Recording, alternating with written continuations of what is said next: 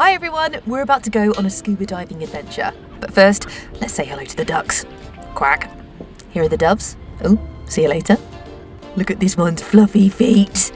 These ducks with the squidgy faces are called Muscovy ducks, and that is a cockerel. Look at him strutting his stuff. This dive centre has a lot of pets. Who knew? Let's go find Greg and get ready for the dive. Maddie, are you still filming the ducks? Me? No. Maybe. Come on. Today we're diving in Sri Lanka in an area called Unawatuna. There are lots of dive sites to visit, but we are going with this one. And we already have a dive plan. We're going to dive off a boat and we're going to make our way. Oh, sorry, that was the cockerel. We'll dive down to 25 metres deep and then we'll spiral our way back to the shallows, stopping at 5 metres before we come to the surface. Okay, to the boats!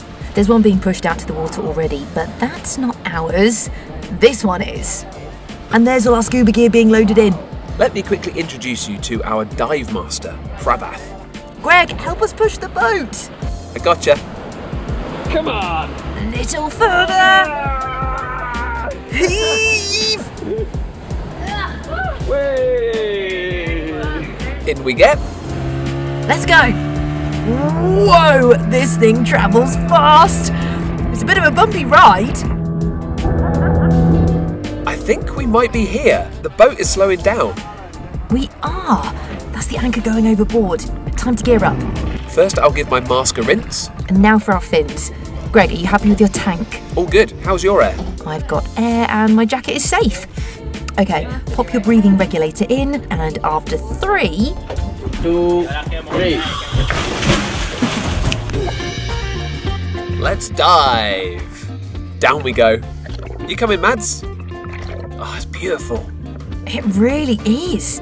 I'm just clearing my ears. The change in pressure makes them pop. We're keeping hold of the anchor line to guide us down to the bottom. Whoa, the current is strong today. It's a bit darker down here too. Hold on to the rope tight. We are swaying all over the place. Nearly there. Oh, we made it.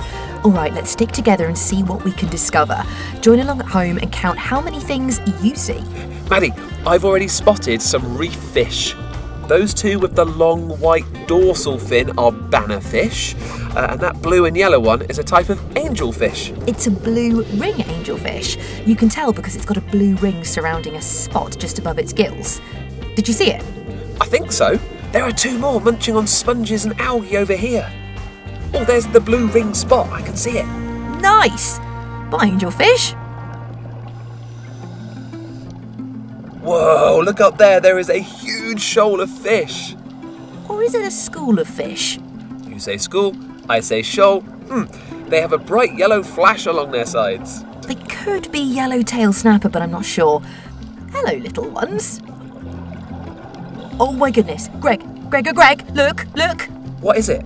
In the distance, by the pointy rock, it's a. Lionfish. I see it. Whoa, look at it. So fancy. Nah, don't be fooled by its stripy body and flashy fins because those spiny bits could give you a nasty sting. They are packed with venom. Lionfish have lived in the waters of Sri Lanka and Indonesia for a very long time, but sadly, in some parts of the world, they've become invasive. That means that there are a lot more than there should be in one area. It's because humans released them into the wild in places where they don't have many natural predators. However, this one is just where it should be. Come on, let's keep our distance. And our guide's waiting. Hmm, I wonder what we'll see next. Look at this coral. It looks like a lumpy, bumpy, grumpy face. Hello. Okay, you, we've been down here long enough. Let's make our way up to shallower waters. Hang on. Prabhath has seen something. Over there? An octopus? No way! The water is so murky it's tough to see anything. It's there. I can see its dark body. It's just squeezed down into the rocks. Those are its eyes poking out. Uh, and you can just about see some of the suckers on one of its eight arms. I can't believe it. Octopuses are one of my favourite animals. Whoa, look at its skin. Yep. Octopuses can change the colour and texture of their skin in fractions of a second. Sometimes they do it to help them hide in their surroundings, which this one is doing brilliantly. We call this camouflage. But other times it could be a sign that the octopus feels angry or threatened. We don't want to upset any animals, so let's leave this one be. Wow, That was cool. Just keep swimming, just keep swimming. That is a powder blue tang. I think they're enjoying swimming in the current. Whee!